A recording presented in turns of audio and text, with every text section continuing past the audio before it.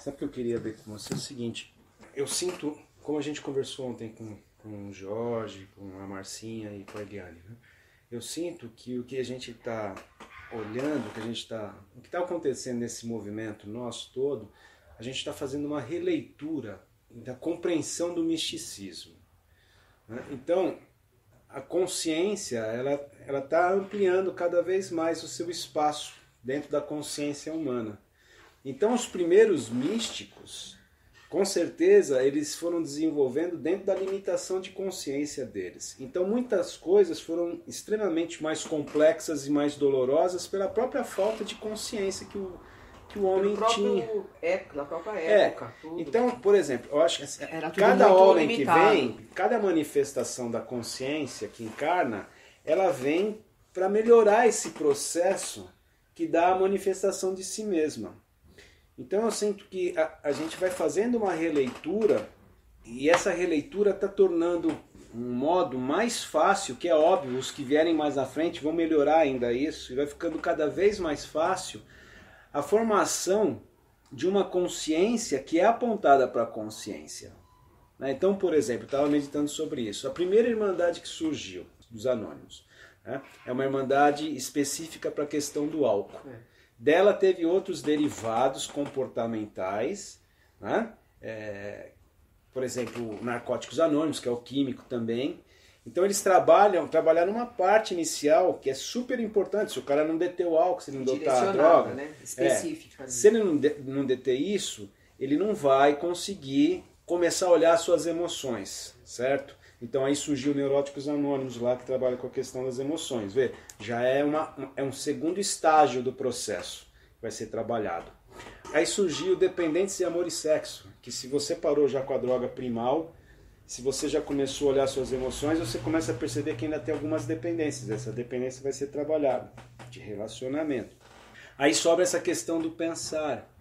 Vê, então perceba assim que foram em escolas separadas. Mas está ocorrendo, me parece, com o pensar e com os adultos adulterados adulterantes, algo que você vai explicando o processo todo. Você explica desde o processo aonde foi que você perdeu o contato com a realidade que é você, que é a estrutura parental, social, educacional, que não tem nada de educação, mas sim de informação. Põe um monte de ações que colocam você na mesma forma que está estabelecida. Então não é educação, É informação é informação, né? Educação seria ajudar você a tirar e ser uma manifestação dessa consciência que é você, Essa certo? informação é para te ajustar, né? É. Então eu vejo assim, né, que vários homens e mulheres, né, dentro da limitação de percepção deles no tempo, eles criaram algumas, algumas imposições que ficaram sem entender, ficou, acaba criando um, um estigma, um, É. um dogma, por não ser compreendido. Por exemplo, é muito comum, hoje mesmo estava vendo um texto do Aurobindo que ele fala assim, pô, se você quer entrar nisso, se você quer ter o resgate dessa consciência, você tem que abster o sexo por completo. Veja, na percepção dele, hoje como que eu entendo isso? Eu lembro quando eu trabalhei com dependência química, pedíamos para os, para os residentes né, que quando saíssem da, da clínica, eles evitassem por um ano o envolvimento afeto-sexual. Que faz sentido. Certo? Aí dá para você entender qual que é a parada. Por quê? O que é importante é você ter o resgate dessa consciência, mas isso não foi informado para ele quando ele sai da Sim. clínica. Ele sai da clínica, por exemplo, com a preocupação assim, olha, não faça uso do sexo e do álcool, porque você pode recair, Recair no padrão de do comportamento. químico. Não assim, olha, não faça uso do, do afeto e do sexual, porque você ainda não tem uma base, pode recair, e por não ter a base, você não chegou no que precisa ter, que é estar embasado nessa consciência não condicionada. E que por não ser condicionada, você não vai mais ter problema com nem com álcool, nem com droga, nem com sexo, nem com relacionamento. É. Porque a maneira como você vai ver, inclusive, o sexo e relacionamento vai ser dentro de uma visão não egóica, vai ser dentro de uma visão espiritual. Você vai ver todo o contexto das suas relações dentro da espiritualidade. né? Então eu vejo assim que a gente está fazendo uma releitura que inclusive mostra cientificamente o porquê de você se abster de certas coisas. Por que, que eles criaram as ideias de jejum, de abstinência. e que, devido à limitação da consciência humana, aquilo se tornou uma imposição e o cara achar que ele tem que se evitar daquilo para o resto da vida dele, entendeu? Se abster daquilo. Não, quando aquilo na realidade é só para que você possa colocar toda a sua energia, todo o seu foco, todo o seu comprometimento no resgate dessa consciência amorosa e integrativa. Que se tiver essa consciência amorosa e integrativa, é óbvio que você não vai precisar de esforço para se afastar do Sim. falso, é. para se afastar do que é ilusório, para se afastar de coisas que vão te criar uma dependência limitadora, é. que vai impedir a livre expressão do ser que é você. Então hoje, eu, eu, olhando assim, cara, faz todo sentido. Se você entra dentro de uma escola que te explica qual que é a real proposta, o que é que você realmente precisa recuperar, que te dá orientação, escuta, você está chegando com um padrão comportamental aqui, que é fundamental deter ele para começar a deixar vir a sensibilidade, aflorar as emoções, aflorar os complexos, aflorar os medos, aflorar as, as ansiedades, aflorar as dependências, você conseguir olhar para elas, compreender elas, perceber a sua limitação de você por você mesmo superar tudo isso que é visto nesse ego conhecimento, e ali você está prontificado a deixar que uma força maior se manifeste, né? e ao se manifestar, por ela se manifestar, por ela ser totalmente amor, essas coisas que não são do amor, que é do ego, elas se derretem na luz desse amor. Sim. Então fica muito claro o porquê que você precisa se abster desse monte de coisa que na realidade foi utilizado simplesmente para aplacar a carga de ansiedade que a gente sentia e nem tinha consciência que era ansiedade e focalizava isso em alguma coisa e ali você descarregava essa ansiedade. Então, por isso, aquelas situações, aquelas relações, aqueles comportamentos faziam tanta importância para a gente. É, porque se você estiver envolvido com qualquer um desses padrões compulsivos obsessivos, você não vai direto aonde precisa ir. Não vai entender. Não vai compreender. E também você não vai compreender se não tiver ninguém falando sobre Sim. isso e apontando para isso. Se você não tiver um local se você que é o que eu vejo que pecam, principalmente os anônimos. É porque hoje. a maioria você nem chega tem no anônimo, quando você chega no anônimo, mas tá lá nos princípios. Tá no princípio, mas quem tá como a, a, a, aquele, aquela velha história, como a maioria não tem o hábito de ler a própria literatura dali do, do meio, do ambiente, não fica sabendo, fica sabendo só por intermédio do, daqueles que falam.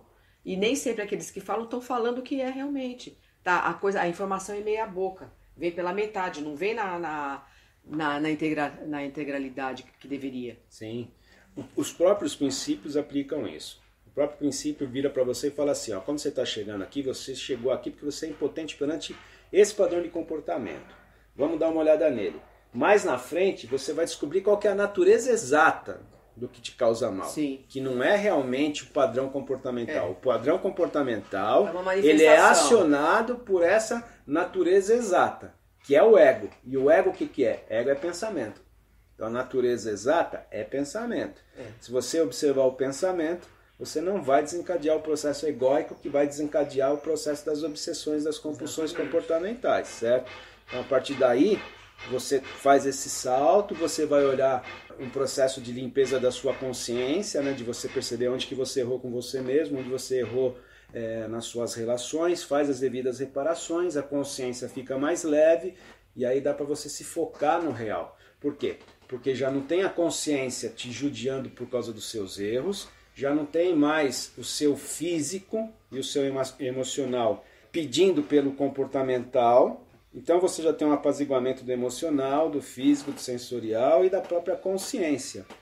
Então aí dá para a consciência se focar no que é essencial. É que vai colocando os sentidos no seu devido lugar. É. E você vai colocando os sentidos no sentido que vai dar sentido aos Exatamente. próprios sentidos. A única coisa a poder planificar esses sentidos é a reintegração com essa consciência amorosa e integrativa. Então, se você tem, se você tem nas escolas iniciáticas, desde quando você chega, te apresentando o que é realmente a proposta, olha, a proposta aqui é muito mais do que deter um padrão de comportamento específico que está te trazendo dessa, dessa, da porta dessa sala para dentro. Isso aqui é deter isso olhar todos os defeitos, todas as adulterações que você criou ao longo do tempo, recuperar isso, redirecionar toda a sua energia, redirecionar você holisticamente para esse estado de prontificação, para que possa ocorrer o resgate desse estado de consciência que não está condicionado a nada.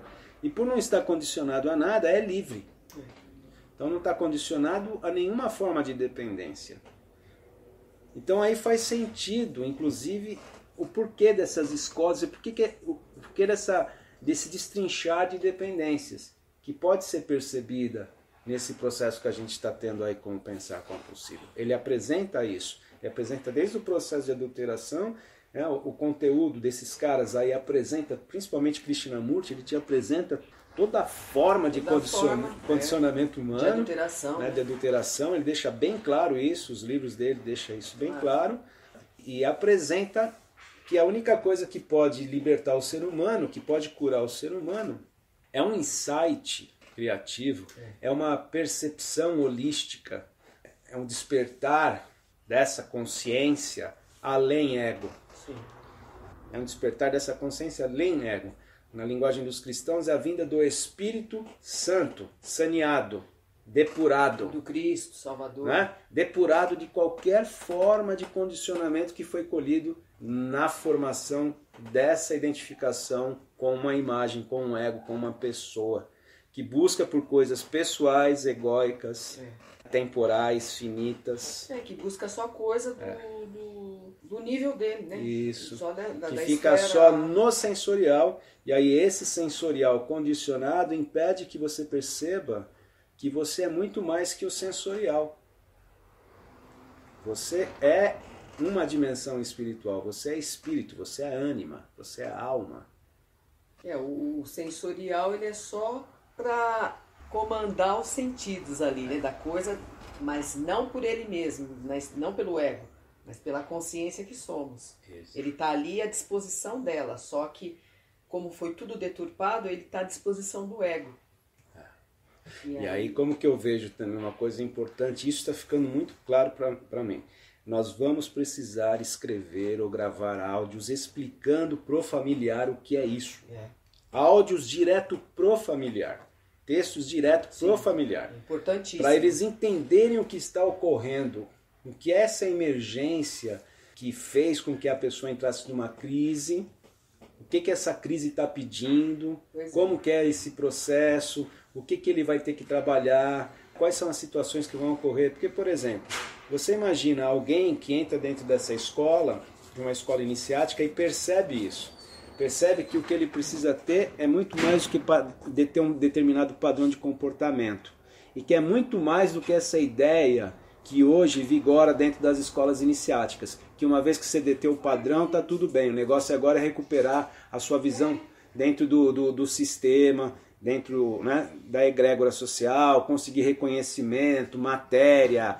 E ele começa a perceber que o foco dele é voltar toda a energia dele para o encontro com o resgate de sua natureza real.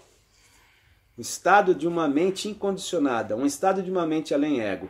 Você imagina alguém que está vivendo dentro da estrutura do ego, ter um familiar, uma esposa, por exemplo.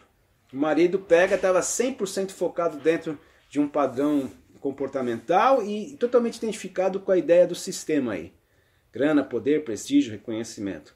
E de repente o cara para e ele percebe que ele tem que simplificar a vida dele que ele precisa orientar para isso. Pois isso aí vai causar um choque dentro da estrutura da, da relação. Se o familiar não entender isso, fica inclusive quase que impossível para que a própria pessoa possa fazer o seu processo, se ela não tivesse entendimento. É. Como que ela vai poder? Se o meio todo, que é o que a gente ontem conversou bastante, o meio todo puxa você para o ajustamento, porque já está estabelecido como padrão de realidade. Sim, é isso. Né? Então. E dentro da, da concepção aí do, do sistema é isso aí mesmo, né? O padrão é esse aí. E aí fica difícil mesmo.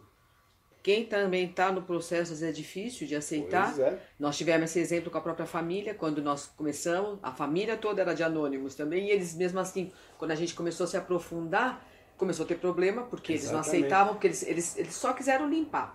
parou de beber, parou, no nosso caso, né, os familiares pararam de beber, parou um pouco a neurose, né, do, aí vamos se ajustar.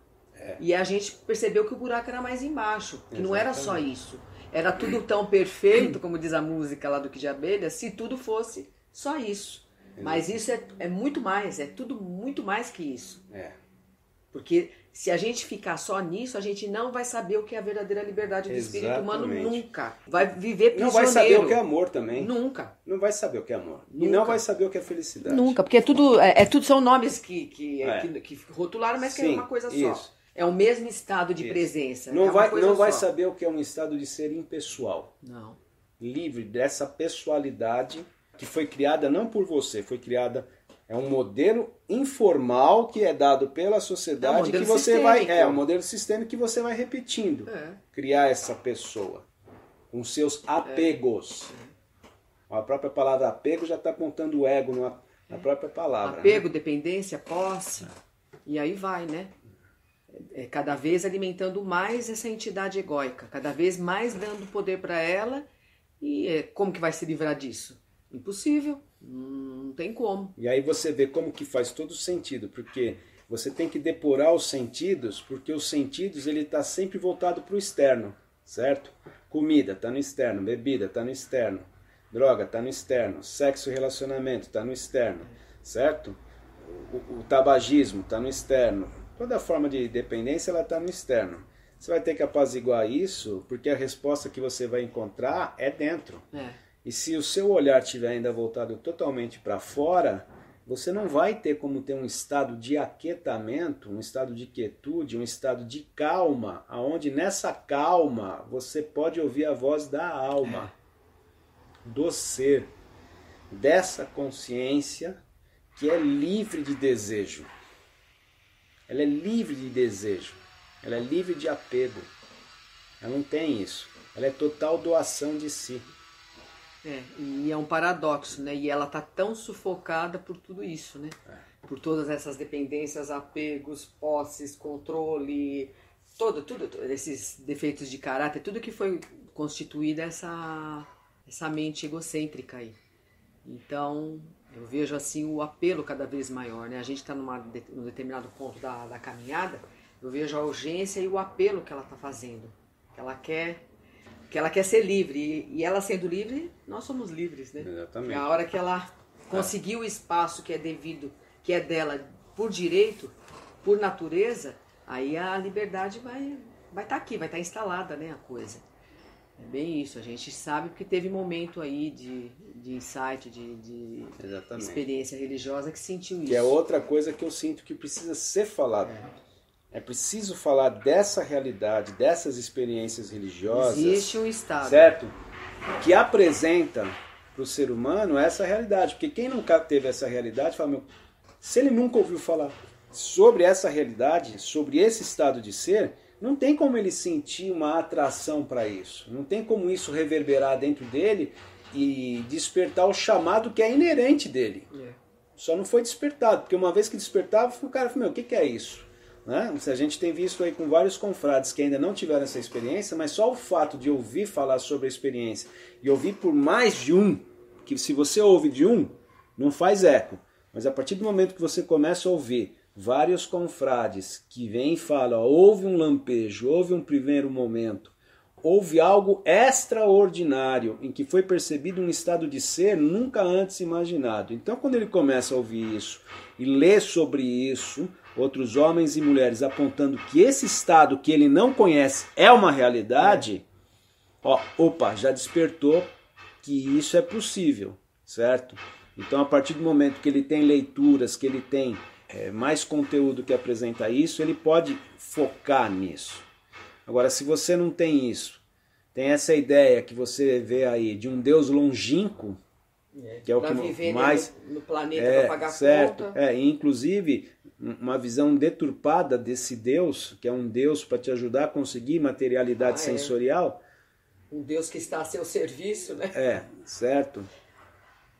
Então aí fica difícil, né? E ao contrário, nós é que temos que estar é. a serviço dele, não ele a, a nosso serviço. Então é, cada vez vai ficando mais claro para mim assim que, que, que o que está ocorrendo é uma releitura de todo o processo místico que a gente percebeu no, no movimento de homens e mulheres, separando, né, que o Bill W falava assim, é preciso estar atento aonde acertaram e erraram os religiosos.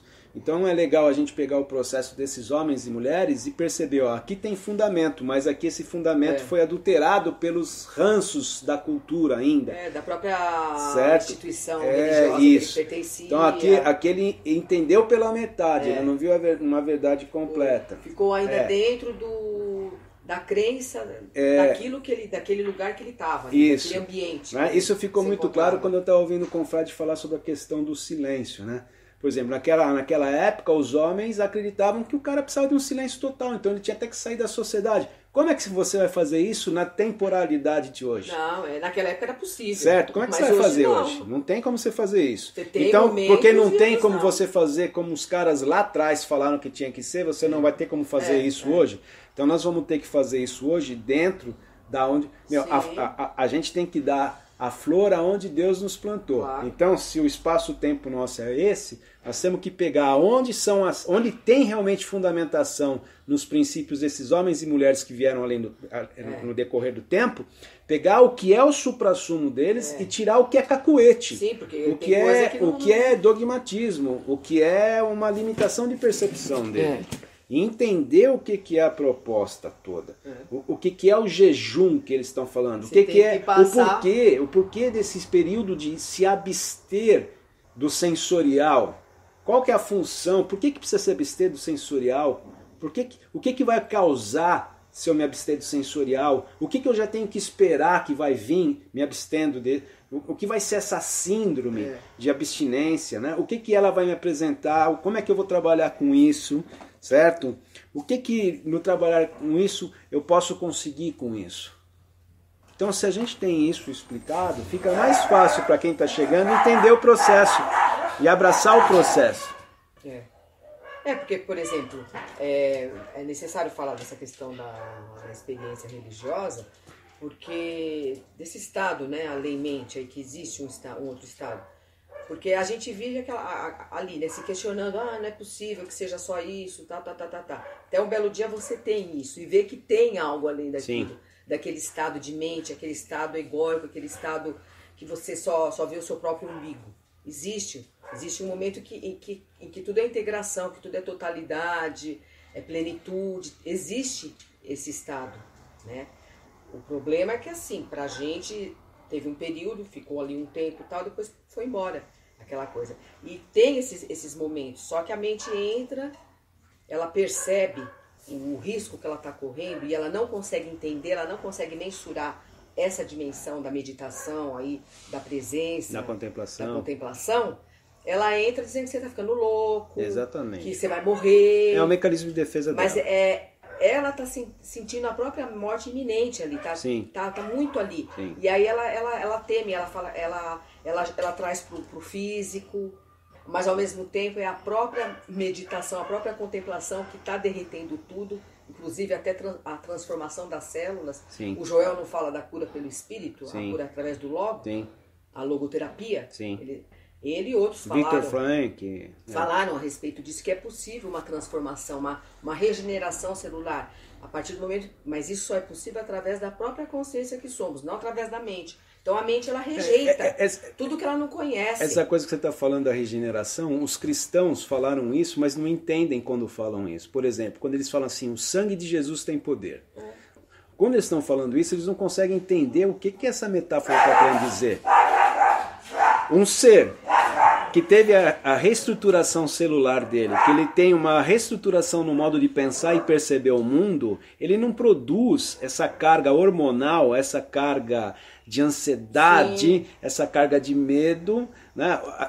Há uma depuração, corpo, é lógico. Né? Que, e por onde corre isso, a não ser pelo sangue? Doenças, a é? somatização. Por onde é que Sim. corre? Esse hormônio é não corre por onde? Por onde, né? É então, então é, é, isso é um fato. Aí uma coisa também que me ocorreu de interessante. Então o sangue de Cristo tem poder, é, né? Então uma coisa também que me ocorreu assim de interessante.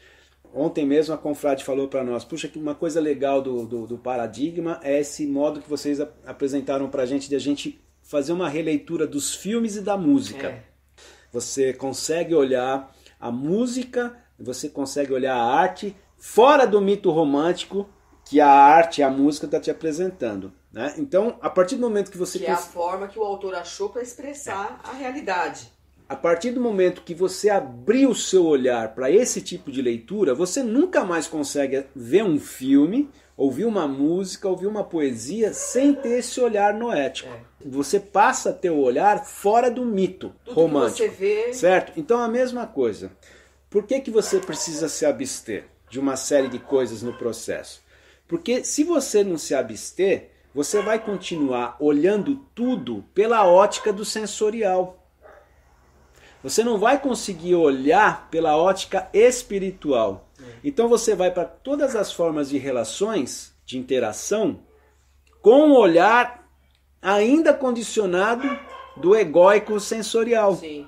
Então, nesse abster-se, você começa a desenvolver um olhar diferenciado, que é esse olhar espiritual. É que você vai redirecionando os sentidos. É.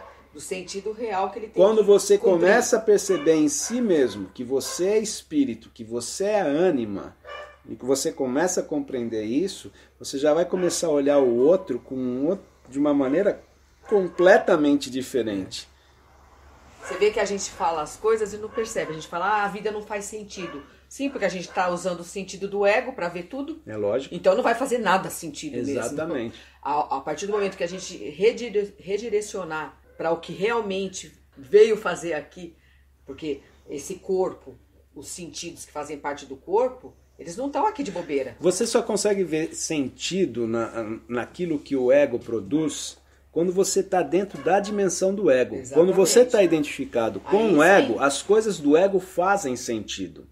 A partir do momento que você tem um choque psíquico, e esse choque psíquico é a porta de entrada para uma dimensão onde a consciência começa a se manifestar pela primeira vez e começa a apresentar uma consciência da presença desse ego e do domínio desse ego, e ver toda a construção do ego, essa consciência começa a apresentar a falsidade dessas produções do ego. Exatamente. Ele começa a apresentar as ilusões da mente. Então, a partir do momento que você vê isso como ilusão, é óbvio que tudo isso passa a deixar de fazer sentido de você investir tempo e energia nisso. Então também fica um vácuo. Fica um vácuo. Que é o deserto do real. O real está apresentando o que é falso. E aí você vai se abstendo do falso. Mas você ainda não tem o real é. realizado holisticamente. Você tem o real em partes. É dos cristãos lá. Agora vejo em partes, mas ainda não vejo face a face.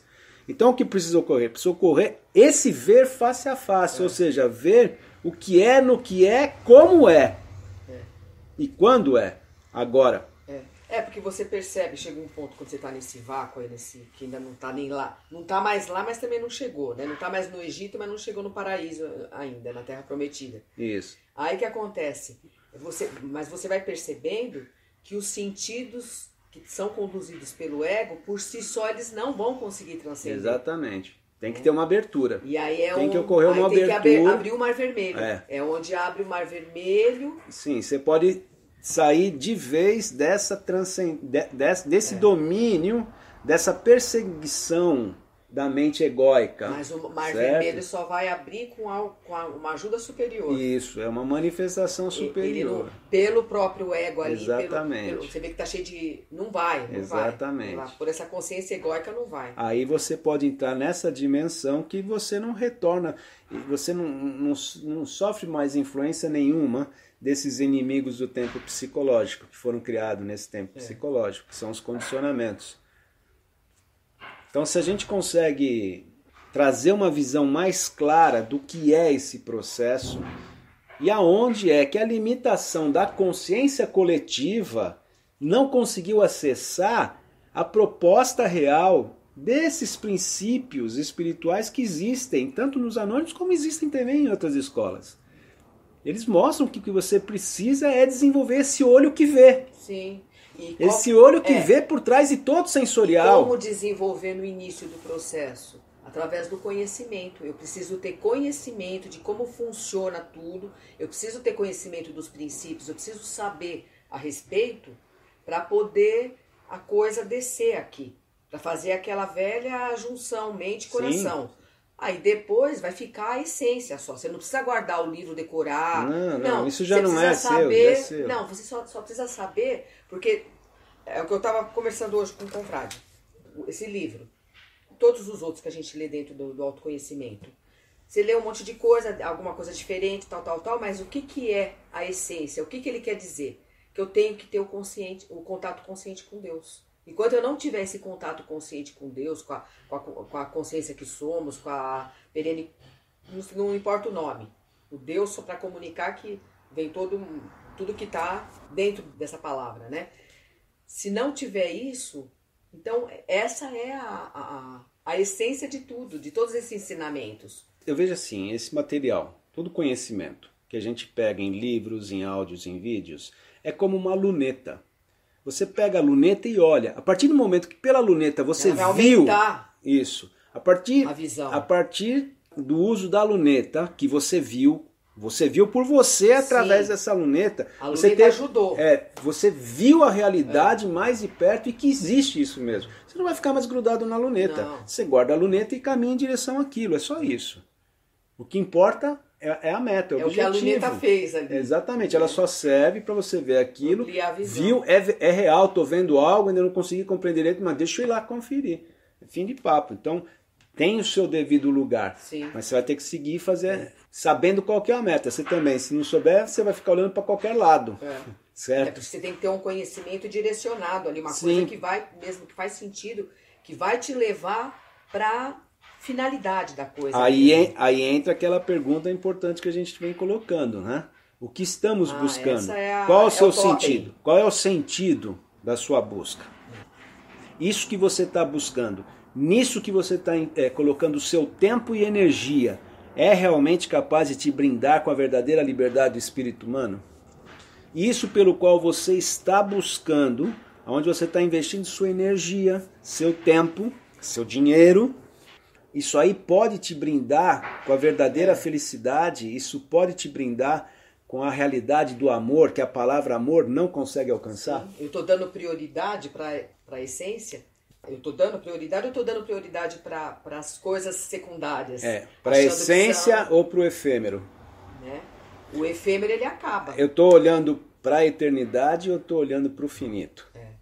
E aí é óbvio que eu vou me frustrar. Eu né? estou olhando para o temporal, regional ou para o atemporal, não Universal. universal. né? Que engloba Isso. tudo. Fica aí é, essa pergunta.